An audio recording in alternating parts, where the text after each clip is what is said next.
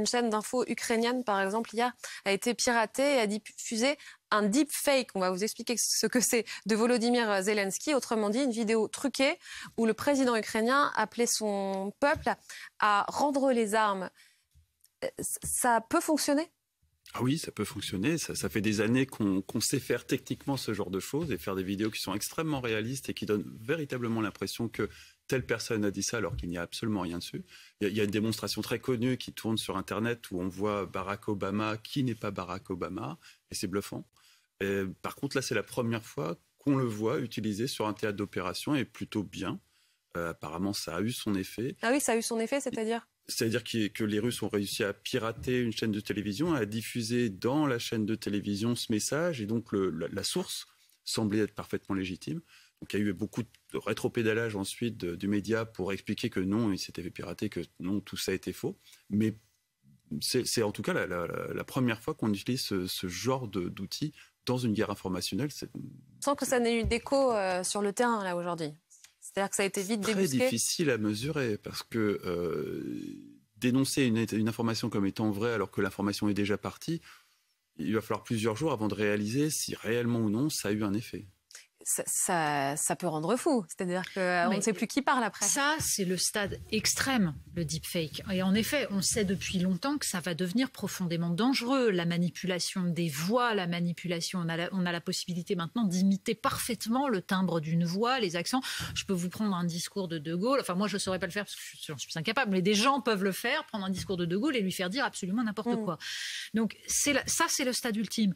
Mais de fait, nous sommes dans une guerre de manipulation permanente d'images, de, discours, d'informations qui se répandent. Et il y a euh, évidemment une, une dextérité maintenant pour ce genre de choses qui est extrêmement angoissante parce que c'est devenu très compliqué pour les gens comme vous et moi de savoir réellement d'où le travail qui est le travail journalistique de sourcer systématiquement. Mais sur les réseaux sociaux, personne n'est capable de sourcer. Et ça peut, en effet, il est difficile de savoir quel impact ça exactement. D'autant que, euh, encore une fois, on n'est pas là non plus dans quelque chose où il y aurait d'un côté euh, les cyberattaques russes et de l'autre, euh, ça ne se passerait pas.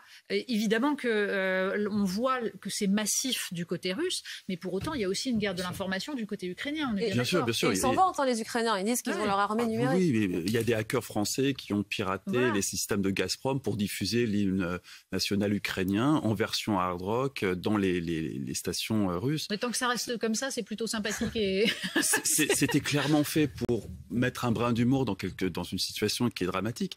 Mais oui, bien sûr, il y, a une guerre de l'information permanente. Les Ukrainiens sont particulièrement là, euh, bons là-dedans. Ils utilisent de façon magistrale les réseaux sociaux pour créer de la sympathie, pour créer du lien avec tout ce qu'ils ont sous la main, euh, notamment l'utilisation des petits chats, on en parlait tout à l'heure.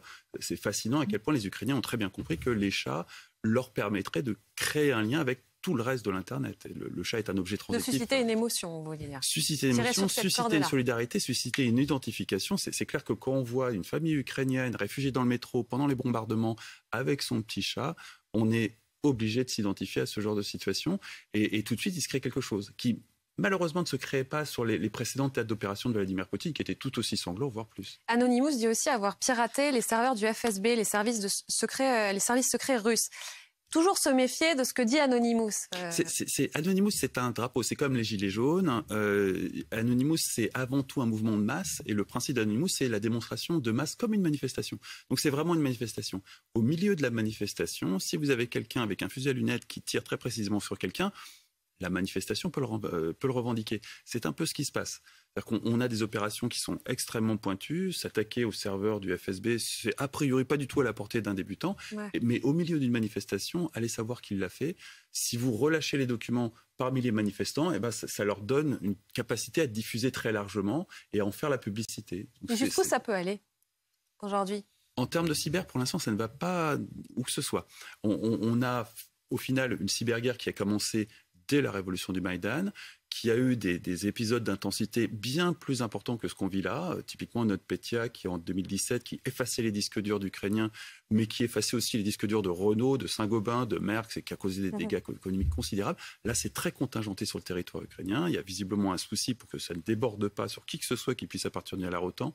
C'est beaucoup plus difficile à faire dans le cyber que dans, dans le militaire conventionnel. et pour l'instant, rien ne se passe. Le premier épisode qui aurait pu tourner au drame, qui était un gang de cybercriminels qui, dès le début de l'invasion, s'est engagé aux côtés de la Russie, a été éventré littéralement par l'un de ses membres qui était un Ukrainien et qui a publié, dans les heures qu'on suivi le, début de l'invasion, toutes les communications internes, les codes sources du groupe, ce qui fait que tous les groupes de cybercriminels russes se tiennent à carreau et ne s'engagent pas dans le conflit. On va maintenant écouter Arnold Schwarzenegger qui s'est exprimé euh, tout à l'heure. Je sais que votre gouvernement vous a dit que c'est une guerre pour dénazifier l'Ukraine. Dénazifier l'Ukraine, ce n'est pas vrai. L'Ukraine est un pays avec un président juif, et j'ajoute un président juif dont les trois oncles ont tous été tués par les nazis. Vous voyez, l'Ukraine n'a pas commencé cette guerre, ni les nationalistes ou les nazis. Ceux qui sont au pouvoir au Kremlin ont commencé cette guerre. Ce n'est pas la guerre du peuple russe. Le gouvernement russe a menti non seulement à sa population, mais aussi à ses soldats. On est en plein dans cette guerre euh, de l'information. On a l'ancien gouverneur de Californie, la figure qui est Arnold Schwarzenegger, qui parle aujourd'hui directement au peuple russe. Oui, je pense que cette guerre de la communication, hein, elle, se conduit comme jamais auparavant. On l'a dit, euh, les Ukrainiens ont été euh, quand même remarquables dans, la capacité à gagner l'empathie surtout des Occidentaux, mais ça va au-delà hein, sur, sur la communication. Euh, les Russes ont été jusqu'à présent catastrophiques, c'est-à-dire ne, ne jouant pas cette, cette, communication. Ce qui est intéressant, c'est de voir aussi comment ce que il peut y avoir des éléments de communication qui visent les Russes, la population russe. Là aussi, les Ukrainiens ont tenté euh, pour la première fois des choses comme euh, interviewer des soldats prisonniers pour, qu'ils montrent qu'ils ne savaient pas bien quels étaient leurs leur plans, pourquoi ils étaient ici. ils ont directement appelé, on l'a vu, hein, les, les, les maires de soldats.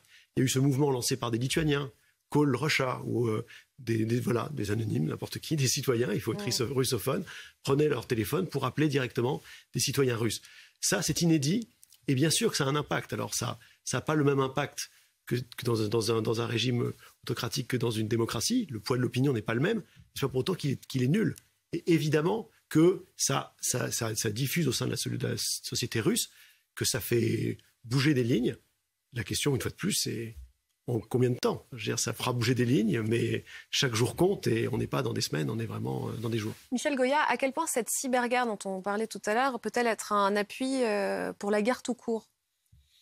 Euh, bah, il y a des aspects, euh, j'allais dire, purement militaires et tactiques. Hein, euh, dans pendant les opérations qui, ont eu lieu, ont eu lieu en 2014-2015, par exemple, les Russes étaient très bons dans ce, domaine. Il y a eu une bataille à des Balseve, par exemple, où euh, les soldats ukrainiens ont reçu des SMS euh, leur demandant de, de, partir, enfin en disant voilà, vous avez, vous avez reçu l'ordre de, de, de, partir. Et, et à d'autres moments, ils ont coupé complètement toutes les, les communications. Euh, donc, d'un point de vue strictement militaire, c'est quelque chose qui est, euh, qui est utilisé par les Russes en particulier. D'ailleurs, euh, ce qui est assez étonnant, c'est que euh, on n'entend pas beaucoup parler. On s'attendait justement de ce euh, soient extrêmement forts de ce point de vue, mais comme dans plein d'autres domaines, on est, j'allais dire, presque déçu par, par parce que parce qu'ils font. donc oui, il y a toute l'intrusion dans les réseaux, dans les réseaux de communication, dans le, système de commandement. ça, c'est c'est un emploi qui est qui est courant, mais encore une fois, qui est plutôt, en l'occurrence, plutôt euh, mieux fait, et très largement même du côté ukrainien. Je laisse compléter la réponse? Le, cyber, c'est un change supplémentaire de la guerre. Au même titre qu'il y a un siècle, l'aviation est arrivée et a complexifié la chose. Là, ça complexifie terriblement les choses. Il ne faut pas oublier non plus euh, les opérations de désinformation, les, les, trolls de Poutine, les fameux trolls de Poutine qui ont été popularisés lors de l'élection de Donald Trump.